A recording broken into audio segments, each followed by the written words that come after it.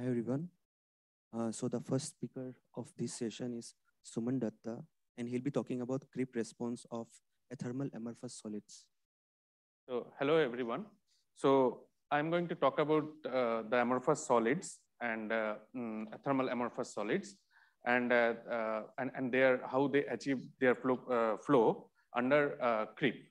So this is a work, uh, these are works in collaboration with Pinaki Chaudhuri from IMSC and Kirsten Martens from University of Grenoble Alpes. And this is the world of amorphous solids, also known as the glassy materials. And they come as in different sizes, different shapes, and their properties uh, typically de uh, dependent become their length scales. So these are the metallic glasses and these are the beans, coffee beans. And you have different classes of material which show the glassy properties. And uh, so these are uh, amorphous solids and the kind of, uh, and these kind of solids, they also show some flow properties. And that is why they called as the yield stress materials. So it happens when they achieve flow beyond a critical imposed stress. Uh, stress. So, and this is how the flow property has been characterized. This is called the load curves, and these are the uh, flow curves. So this is what happens when you have a solid and, you, uh, and that solid is deformed. And initially there is an elastic response. And after that, there is a stress, stress overshoot. And after that, it flows. So it achieves a steady flow at the end. And this is a typical property of the yield stress material. And that separates it from the normal solids that actually shows a large failure with a large stress drop here. And this is what happens when one actually uh, uh, put this material under some imposed stress. So if one increases the stress up to this point, there is no change in the strain rate. And after that, it deforms. And this is given by this Herschel-Bulkley law. And uh, this is how they deform uh, under the given stress, uh, shear stress. So th there are, uh, I, will be talk mostly focused on this kind of this kind of behavior. And this is a question in the nutshell. So we are interested in the jamming and jamming transition. And this is one of the very famous phase diagrams by Liu and Nagel. So this is, this is, a, this is the glass transition line. If one goes from liquid to this, this is a glass transition. Along this line, if you pack things uh, uh, more, they become jammed. And this is the yielding line. So how this typically, uh, typical uh, arrested solids flow under the load, under uh, the loading.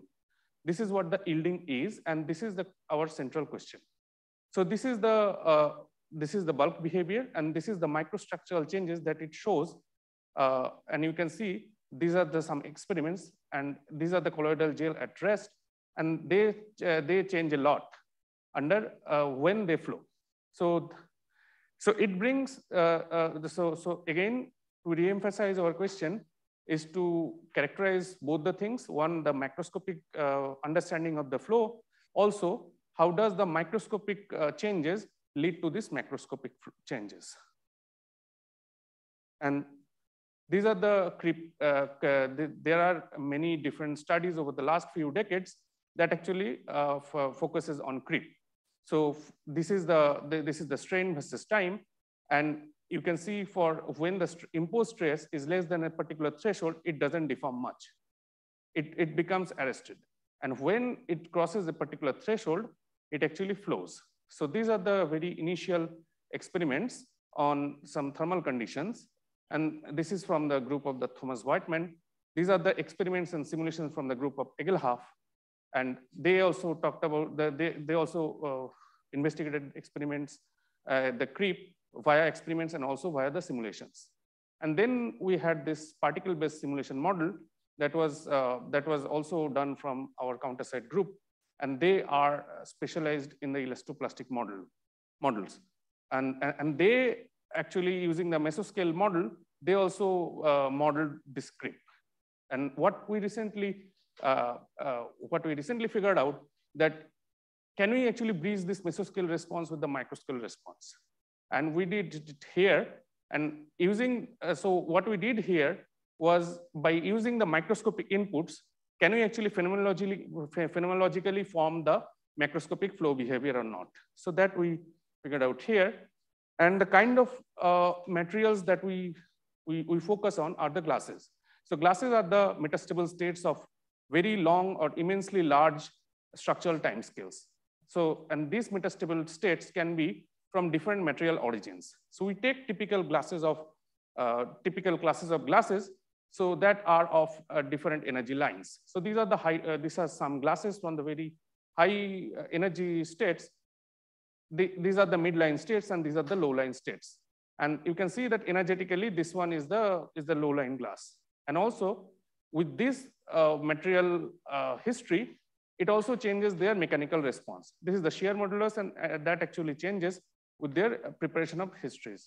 And this is what earlier was shown so these are the quasi-static simulations.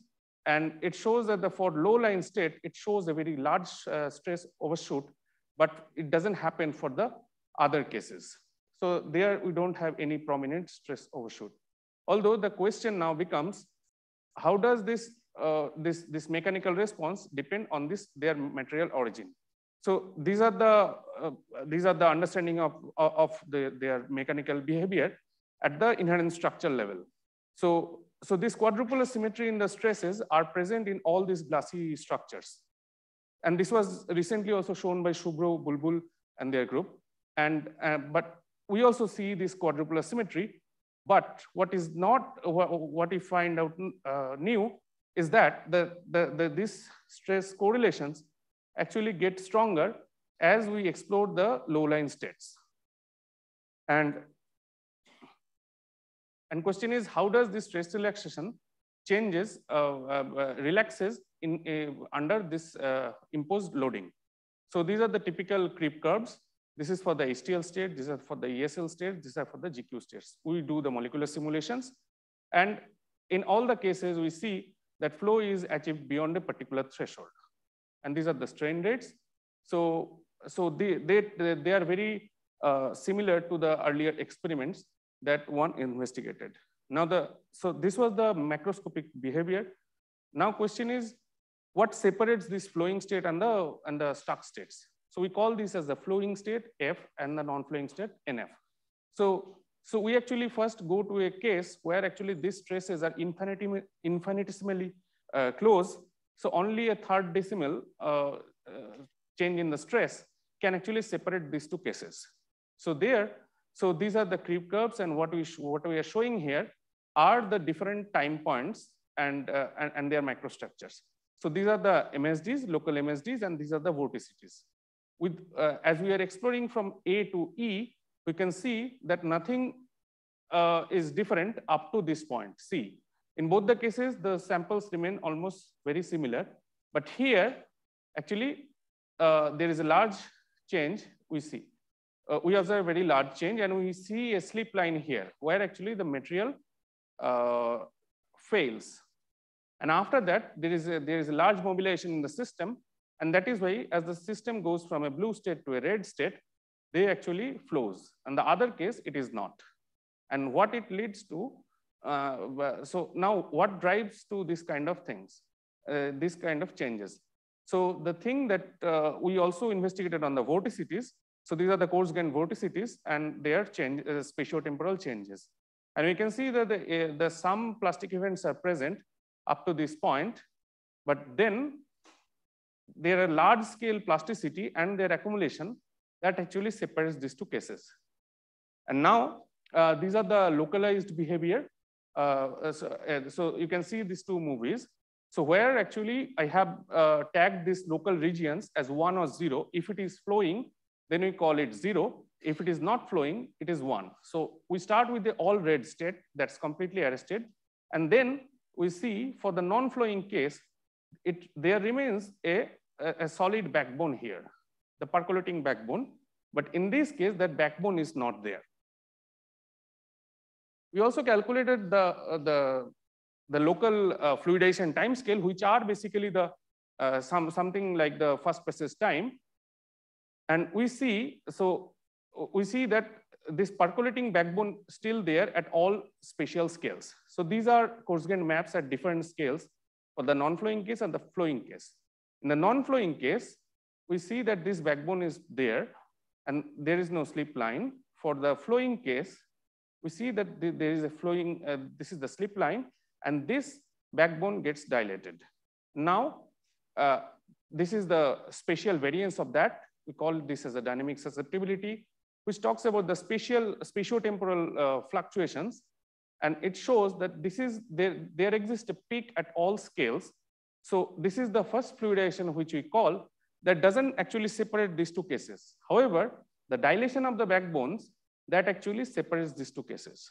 So this existence of this perc uh, percolation back, uh, percolating backbone was earlier there, but what was not there was whether how, uh, how, how uh, what was not there was the understanding of their role in fluidization.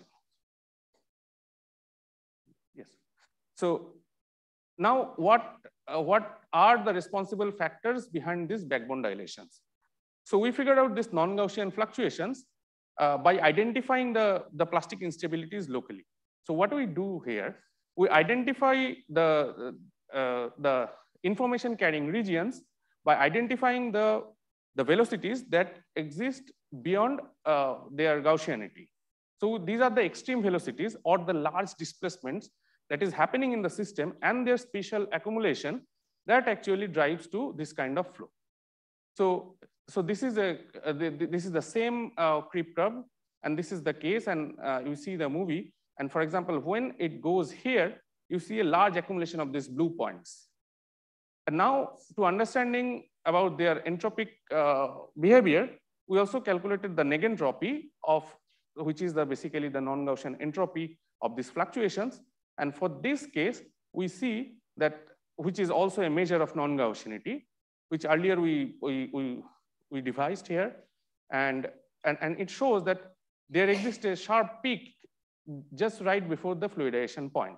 So it, this, uh, these large fluctuations are actually indicator of this yielding transition. With this, I'm going to summarize the main points that we have, uh, uh, I have talked on. So we talked about these yield stress materials that they yield beyond a critical threshold. And this uh, fluidization process depends upon the preparation history and their material origin.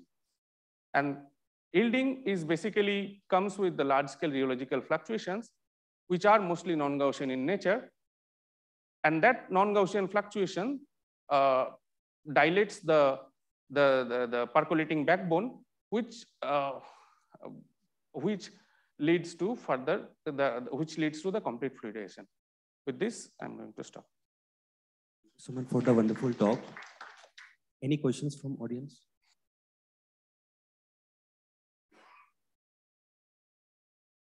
No questions. Okay, let us thank. Uh, yeah.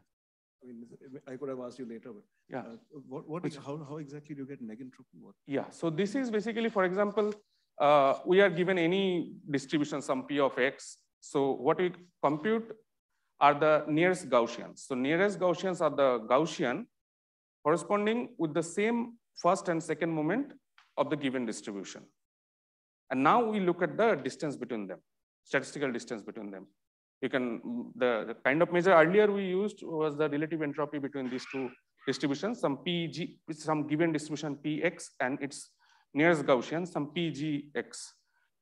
And later on, we actually generalize it as a generalized distance uh, because there are some issues with the relative entropy that they are not symmetric. We have gone for a symmetric measure in, in this case. So in this case, uh, uh, so there is one more paper is following up where we make use of the generalized uh, distance function. But this one uh, also, uh, this one talks about the relative entropy based distance. Let us thank Suman again for the wonderful. I think there is a question. Yeah, Jitendra. Uh, not a I mean, meaningful question, but yeah. uh, I was wondering, are these uh, region of high velocities mm. correlated in space or they are? Yeah, for example, if you see, uh, so this is the sample that is undergoing the failure. Now, this is a small region where, which I'm zooming here. So now this, these values are basically, when it is green, it means they are within the zeroth moment. And when it is three, it means beyond three sigma. So when a green region turns blue, it means that those are the extreme velocities. So those are beyond three sigma because for a given Gaussian, you have some ratios like 0.11%, which you expect for a Gaussian process. Now here, for example, when you see this accumulation here, when it goes here, you see that large accumulation of these blue points are there. So they are spatially correlated. We didn't compute the correlation, but you can see that they, they exist uh, spatially correlated.